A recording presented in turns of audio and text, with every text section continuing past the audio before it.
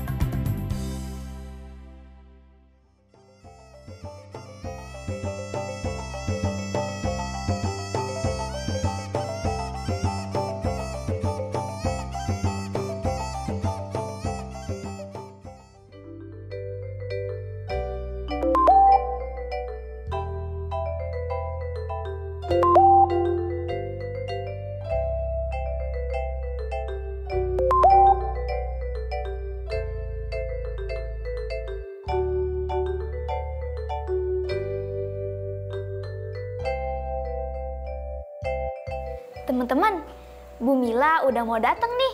Kalian masih inget kan? Aku sudah terpilih untuk perwakilan misi budaya menari di Malaysia. Bu Mila guru tariku mau datang ke sini untuk membawa kostum tarinya. Jadi kita bisa belajar bareng deh. Gimana kalau nanti kita minta Bu Mila jelasin tentang kerjasama Indonesia dengan negara ASEAN di bidang politik? Juga tentang kerjasama bilateral, multilateral, regional, dan internasional. Lalu, di numerasi kita akan belajar berbagai bentuk pecahan dan nilai tukar mata uang Indonesia. Nanti teman-teman semuanya bantuin aku belajar ya. Sekarang kalian siapkan buku dan alat tulis kalian ya teman-teman. Jangan lupa juga, sebelum belajar kalian berdoa terlebih dahulu. Semoga pelajaran kita hari ini bermanfaat ya teman-teman.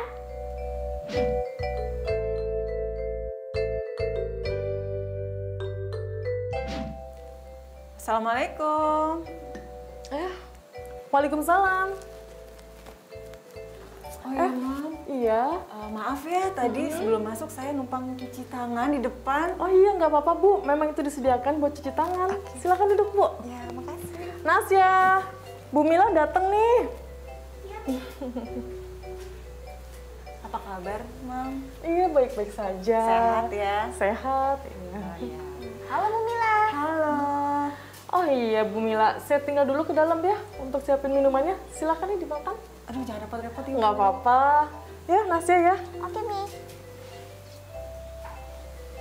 Nasya, ini kostum tari buat Nasya. Wah, jadi nggak sabar buat pakai kostumnya. Oh ya Bu, sekolah kita kan sering kali terpilih untuk perwakilan misi budaya ke luar negeri. Tujuannya untuk apa sih Bu? Tujuannya untuk mempererat hubungan kerjasama antara Indonesia dengan negara luar, terutama dengan negara ASEAN. Salah satu caranya yaitu memperkenalkan budaya negara masing-masing. Kerjasama lain bisa berupa kerjasama di bidang ekonomi dan politik. Kalau kerjasama di bidang politik itu tujuannya untuk apa Bu? Bentuk kerjasama antara Indonesia dengan negara ASEAN di bidang politik dan keamanan ditujukan untuk menciptakan keamanan, stabilitas, dan perdamaian, khususnya di kawasan ASEAN dan umumnya di dunia. Hmm, aku belum paham Bu, seperti apa bentuk kerjasama dalam bidang politik itu? Kerjasama di bidang politik misalnya penempatan duta besar di ibu kota masing-masing negara dan konsulatnya. Kunjungan diplomatik antar kepala negara dan jajaran menterinya.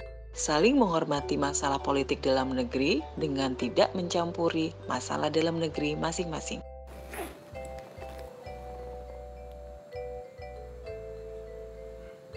Ini, coba Nasya bacain ya. Hubungan Indonesia-Vietnam Pada tahun 2019, hubungan politik dan diplomatik Vietnam Indonesia terus diperkuat. Selain kunjungan-kunjungan bilateral yang dilakukan pimpinan negara, pemerintah dan pejabat senior, kedua negara itu sudah melakukan 27 pertukaran dan temu pergaulan antara delegasi-delegasi militer. Tahun 2019 menandai pembentukan mekanisme dialog kebijakan pertahanan tingkat deputi menteri. Khususnya, tahun 2019 merupakan tahun yang mempunyai makna istimewa. Bagi Vietnam dan Indonesia, ketika dua negara bersama-sama mengadakan peringatan ulang tahun ke-60, kunjungan bersejarah Presiden Ho Chi Minh di Indonesia dan Presiden Soekarno di Vietnam. Ini merupakan satu peristiwa diplomatik besar yang didorong kedua pihak. Radio Suara Vietnam mengadakan berbagai acara simposium dan pameran, serta sayembara mengarang. Aktivitas-aktivitas ini diselenggarakan sebagai persiapan menuju peringatan ulang tahun ke-65 Penggalangan Hubungan Diplomatik Vietnam Indonesia 1955 sampai 2020. Nah, Bu, berarti hubungan bilateral antara Indonesia dan Vietnam itu dimulai pada tahun 1955 ya, Bu? Iya, betul, Nak.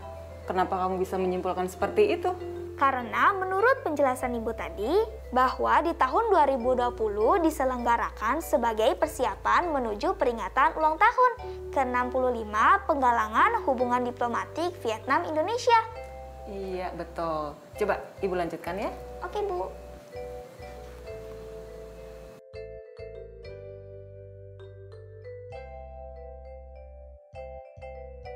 Duta Besar Republik Indonesia di Vietnam, Ibnu Hadi mengatakan, kunjungan itu memang meletakkan fondasi yang kuat bagi perkembangan hubungan kedua negara pada waktu mendatang. Maknanya apa? Maknanya adalah bahwa hubungan yang kita alami saat ini sudah sangat dekat di bidang politik, keamanan, ekonomi, sosial budaya, pendidikan, dan pariwisata. Ini memang dimulai dari adanya kunjungan historis tersebut. Kunjungan tersebut membuat kita bisa merasakan hubungan bilateral yang sangat erat bagi kedua negara. Dalam rangka memperingati event ini, kami bekerja sama dengan VOV, khususnya pada tanggal 23 Desember 2019, kami mengadakan acara peringatan jadi, kita ingin memaknai peringatan tahun ini dengan berbagai kegiatan yang menggambarkan eratnya hubungan kedua negara. Pada tahun 2020, Vietnam dan Indonesia akan memperingati ulang tahun ke-65 penggalangan hubungan diplomatik. Vietnam dan Indonesia mempunyai banyak kesempatan mendorong kerjasama bilateral karena kedua belah pihak menjadi anggota tidak tetap Dewan Keamanan Perserikatan Bangsa-Bangsa bersamaan dengan Vietnam memegang jabatan sebagai ketua ASEAN.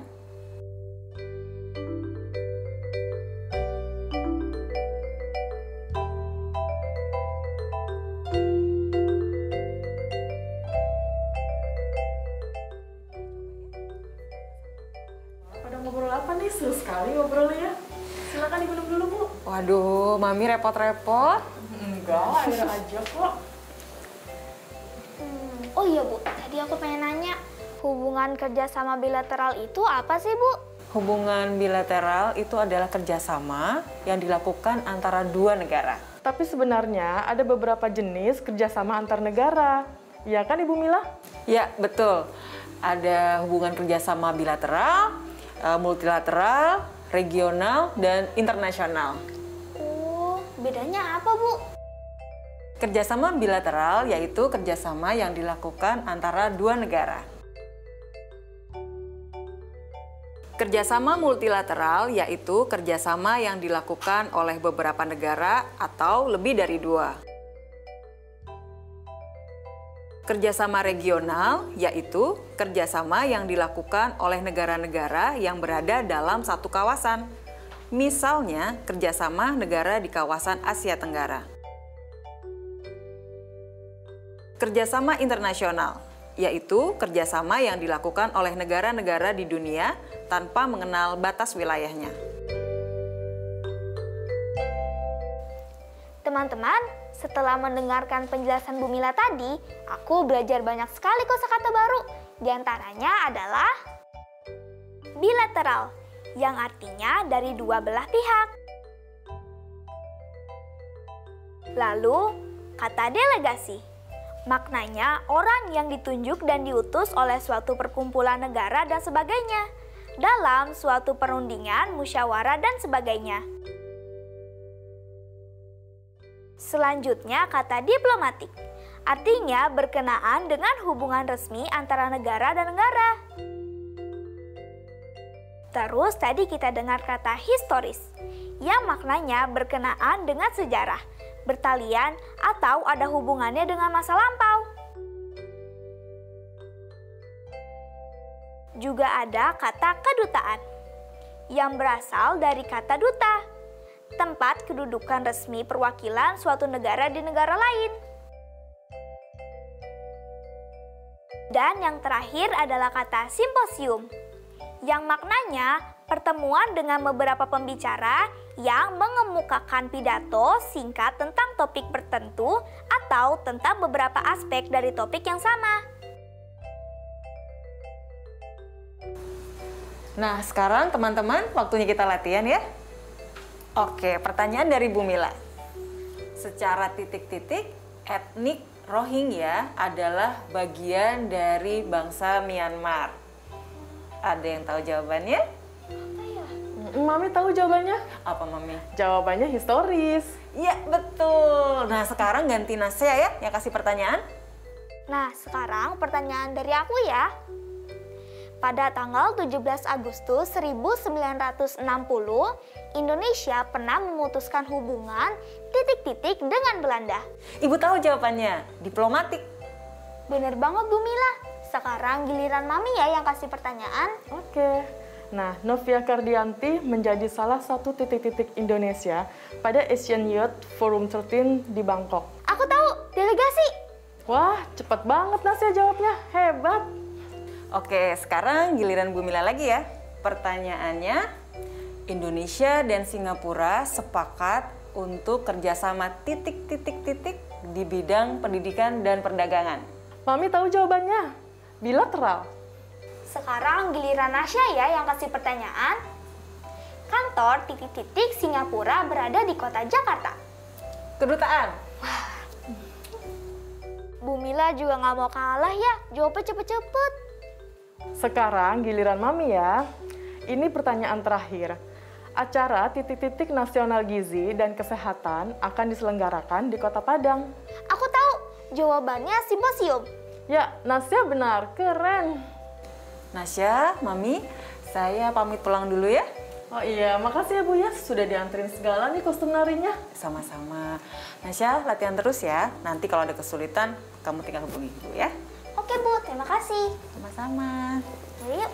Ayo. Mau ke mana lagi Bu habis ini? Eh, langsung pulang. Oh gitu, hati-hati ya Bu ya. Ya, kasih. Hari.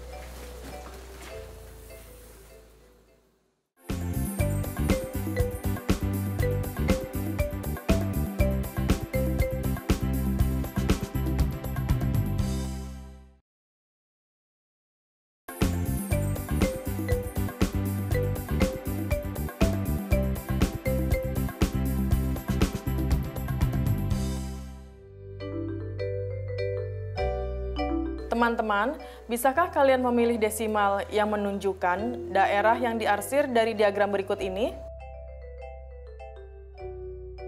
Perhatikan ya, kalian tahu jawabannya?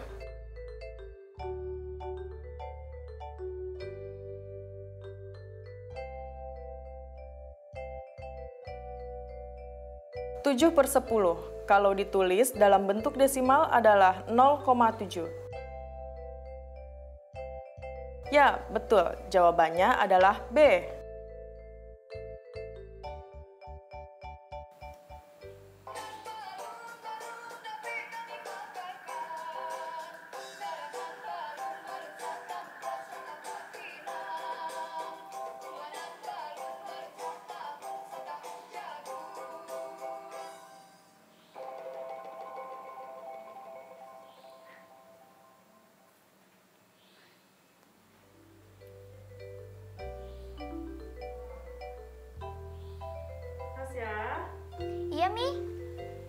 sudah selesai latihannya?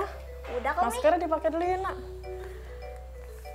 Mami punya sesuatu nih buat Nasya. Wah, apa tuh, Mi? Nah, kemarin sebelum Om Yuda pergi, dia nitip ini buat kamu. Oh, ini apa, Mi? Ini namanya ringgit sayang, mata uang Malaysia. Om Yuda bilang ini buat kamu, supaya kamu semangat latihan harinya. Dan nanti kalau kamu sudah sampai Malaysia, kamu bisa gunakan ini untuk kamu beli sesuatu di sana.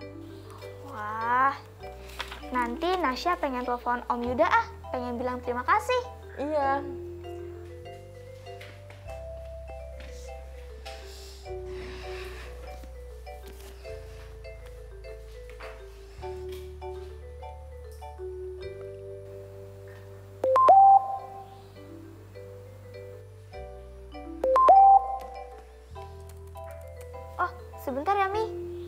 Ngajakin video call.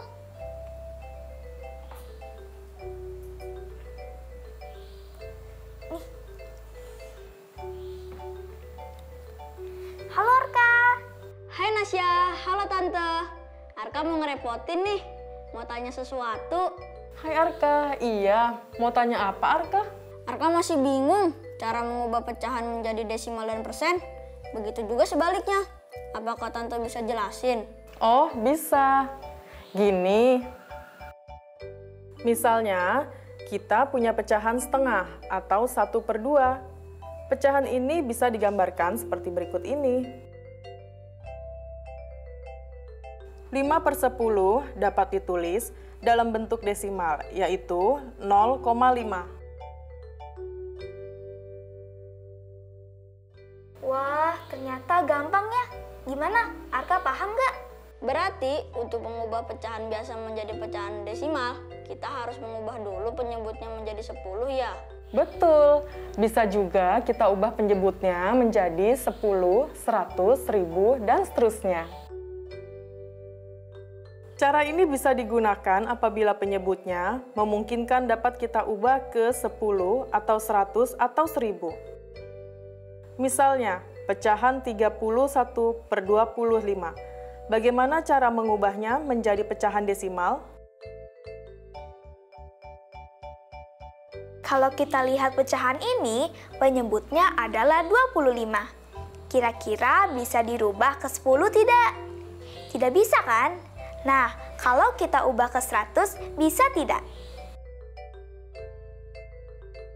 Hmm, bisalah. Agar penyebutnya menjadi 100, berarti kita kalikan 4.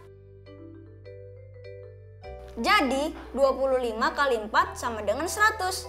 Kalau penyebut kita kalikan 4, maka pembilangnya juga kita kalikan 4. Berarti 31 kali 4 sama dengan 124. Jadinya yaitu 124 per 100. Begitu kan Nasya? Betul banget, 124 per 100. Nah, karena per 100, maka jawabannya pasti ada dua angka di belakang koma.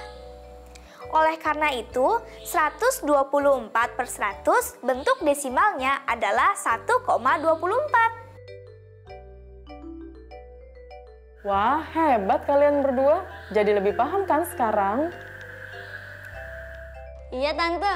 Nah, kalau mau mengubah pecahan ke persen, gimana caranya? Tante kasih contoh ya. Misalnya, 1 per 2. Bagaimana merubahnya ke persen? Persen itu artinya per 100. Jadi, kita harus mengubah pecahan 1 per 2 ke pecahan berpenyebut 100. Contohnya berikut ini. 1 per 2 sama dengan 5 per 10 sama dengan 50 per 100 sama dengan 50 persen.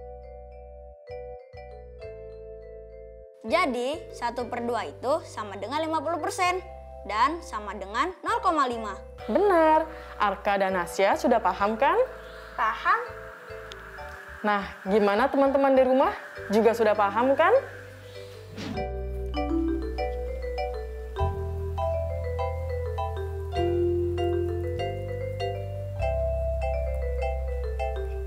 Halo Arka.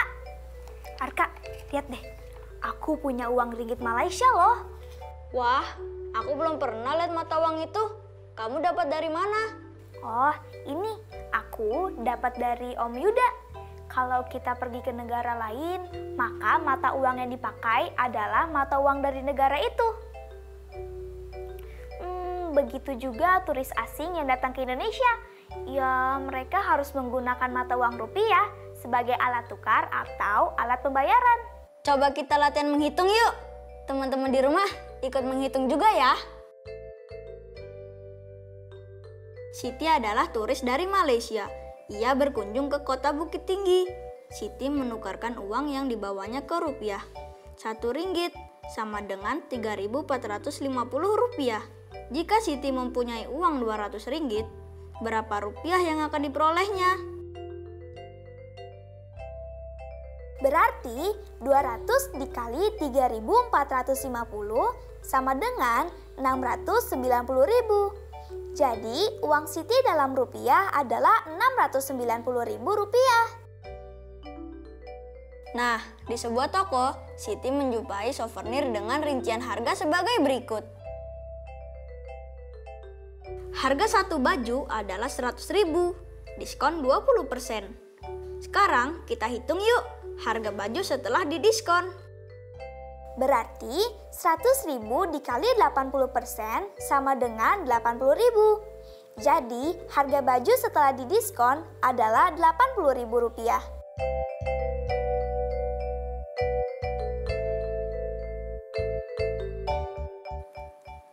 Nah, setelah penjelasan tadi, sekarang giliran teman-teman di rumah menjawab pertanyaan selanjutnya ya.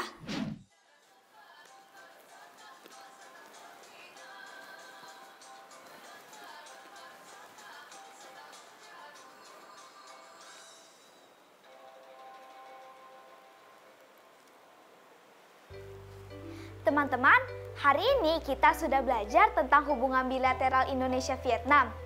Kita juga sudah belajar tentang macam-macam kerjasama yang dilakukan antar negara. Oh iya, kita juga sudah mempelajari banyak kosakata baru loh. Di numerasi, kita sudah belajar tentang mengubah pecahan menjadi desimal dan persen. Lalu, kita menghitung pembayaran nilai mata uang asing ke nilai mata uang Indonesia. Seru ya? Terima kasih ya sudah menemani aku belajar hari ini.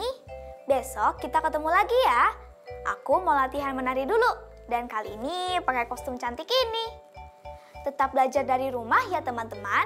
Jaga jarak, rajin cuci tangan, dan pakai masker agar kita ikut mencegah penyebaran COVID-19. Sampai jumpa!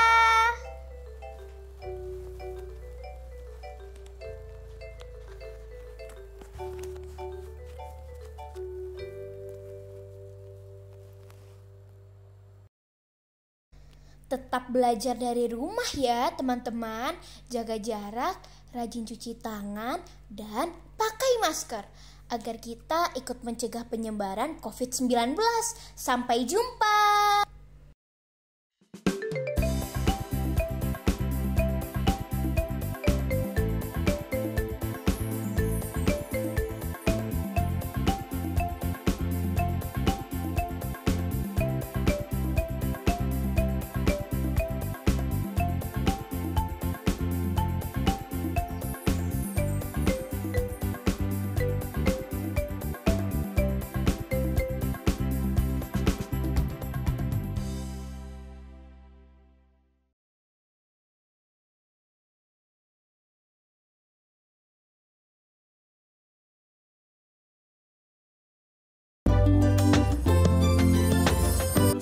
Sering-sering cuci tangan.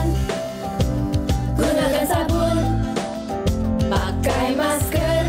Menutup hidung mulut. Jangan lupa jaga jarak. Saat ketemu orang. Makan yang bergizi. Jaga kesehatan. Anak Indonesia anak Jangan kendor, jaga kesehatan.